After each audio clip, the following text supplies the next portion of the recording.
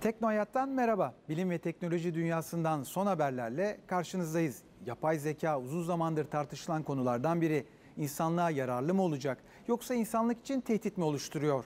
Bu tartışmalar uzun süre devam edecek gibi görünüyor. Bugünlerde yapay zeka ile ilgili yeni bir gelişme var. Yapay zekanın kanseri insandan daha iyi teşhis ettiği ortaya çıktı.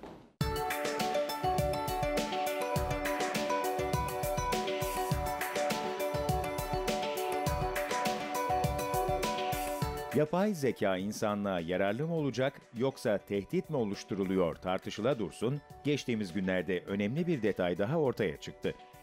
Amerikalı, Alman ve Fransız araştırmacılardan oluşan ekibin yaptığı testlere göre yapay zekanın cilt kanserini insandan daha doğru teşhis ettiği belirlendi. Test için yapay zeka sistemine 100 binden fazla görsel yüklendi.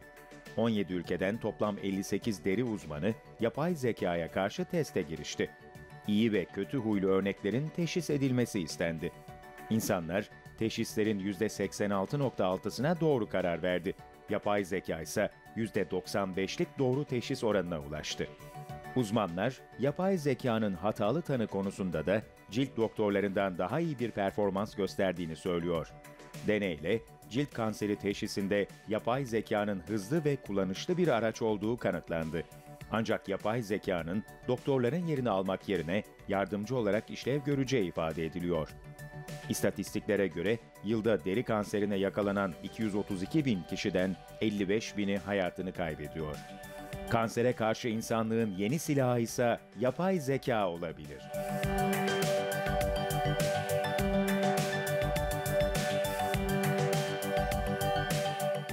5G teknolojisi için çalışmalar dünya çapında tüm hızıyla devam ediyor. İskandinav ülkeleri 5G alanında büyük bir işbirliği içinde Güney Kore, Amerika, Japonya ve Çin ilk 5G hizmetini veren ülke olmak için birbirleriyle yarışıyor. İşte son durum.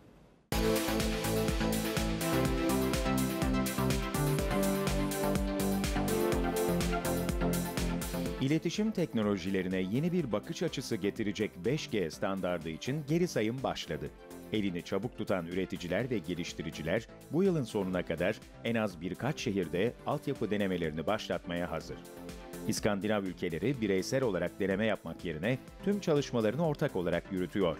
Norveç, Danimarka, İzlanda, Finlandiya ve İsveç birçok 5G kategorisinde yoğun bir işbirliği hedefliyor.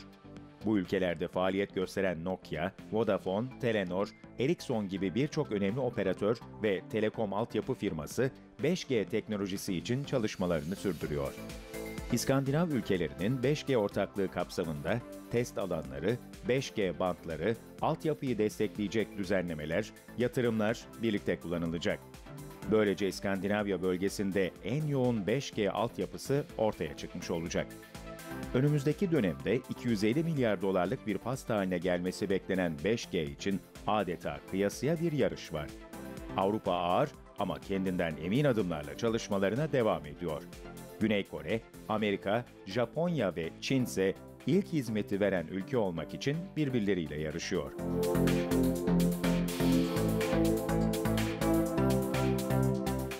İnternet üzerinden alışveriş şirketi Amazon'un kurucusu Jeff Bezos, sahip olduğu özel uzay araştırma şirketi Blue Origin ile gündemde.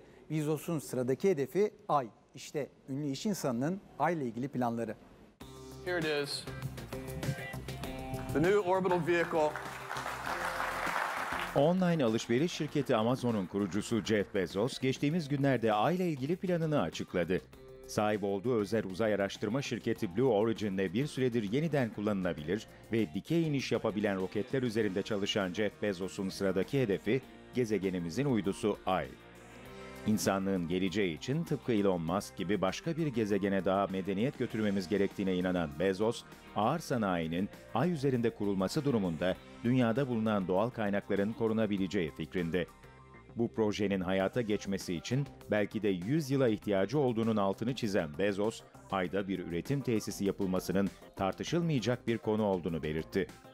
Bezos geçtiğimiz aylarda her yıl 1 milyar dolarlık Amazon hissesi satarak Blue Origin şirketine aktaracağını duyurdu. Böylelikle bu şirkete ne kadar önem verdiğini kanıtlamış oldu. 100 milyar doları aşan servetiyle Bill Gates'i geride bırakan Bezos'un sahibi olduğu Blue Origin, geçtiğimiz aylarda bu yıl göreve başlaması planlanan The New Shepard kapsülü tanıtmıştı.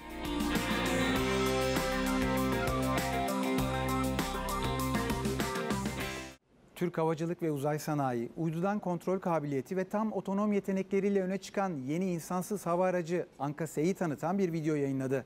İşte Anka-S.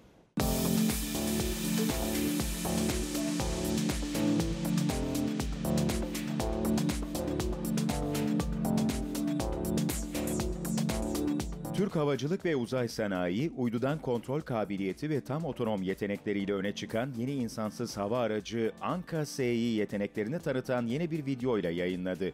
Geçtiğimiz aylarda kabul testleri başarıyla tamamlanan ve Türk Hava Kurumu'na teslim edilen Anka-S, 30 bin fit irtifaya kadar yükselebiliyor. TAI tarafından yayınlanan videoya göre Anka-S, gece ve gündüz her türlü hava koşulunda 18 saat kesintisiz görev kabiliyetine sahip. 3 kişiyle 45 dakikada göreve hazır hale getirilebilen Anka-S'nin görüntüleme sisteminde Aselsan üretimi yüksek çözünürlüklü Forward Looking Infrared olan CATS kullanılıyor. Link kaybı durumunda tanımlı meydanlara otonom iniş yapabilme gibi otonom özelliklere de sahip olan Anka-S, sahip olduğu sistem sayesinde 6 kilometre uzaktan insan teşhisi yapabiliyor. 17,5 metre kanat açıklığına ve 200 kilogram faydalı yük taşıma kapasitesine sahip olan Ankase, taşıdığı telsiz rölesiyle farklı alanlarda görev yapmakta olan kara birliklerinin birbirleriyle iletişimine de destek sağlıyor.